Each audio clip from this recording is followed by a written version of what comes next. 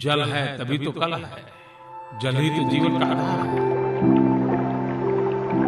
एक एक बिंदु जल का। ये परमात्मा का दिया हुआ प्रसाद है। ये अपरंपार संपत्ति है। पानी में वो ताकत है। हम कितने ही थक करके आए हो मुँह पर थोड़ा सा भी पानी छिड़कते हैं तो कितने फ्रेश हो जाते हैं। हम कितने ही थक गए हो लेकिन विशाल सरव, सरोवर देखें या सागर का पानी देखें तो कैसी विराटता का अनुभव होता है। ईश्वर तो हमारी ज़रूरत के हिसाब से पानी देता ही है। प्रकृति हमारी आवश्यकता की पूर्ति करती ही है। लेकिन जब पानी होता है तब सबसे ज़्यादा उदासीनता उसके प्रति होती है। 200 साल पहले पानी का संकट नहीं था। उस समय भी हमारा लोग पानी के महत्व को समझते थे।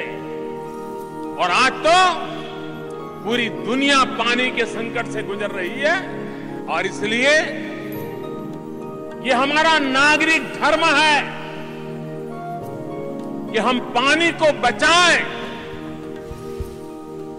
जितनी चिंता जीवन को बचाने की है, उतनी ही चिंता जल बचाने की होनी चाहिए।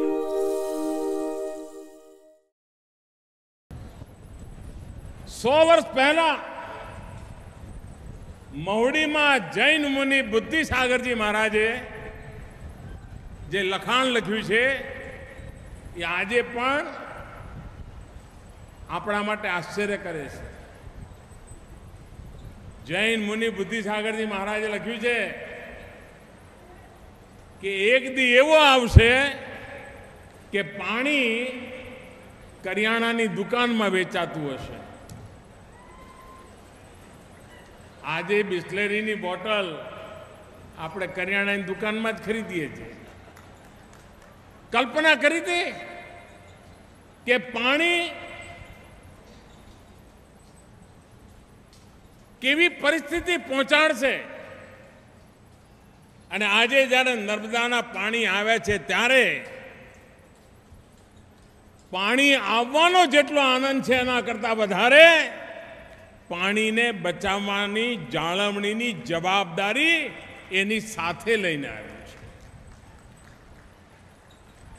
અને મને વિશ્વાસ છે, ગુજરાતને અને દેશને પાણી કેમ બચાવવું,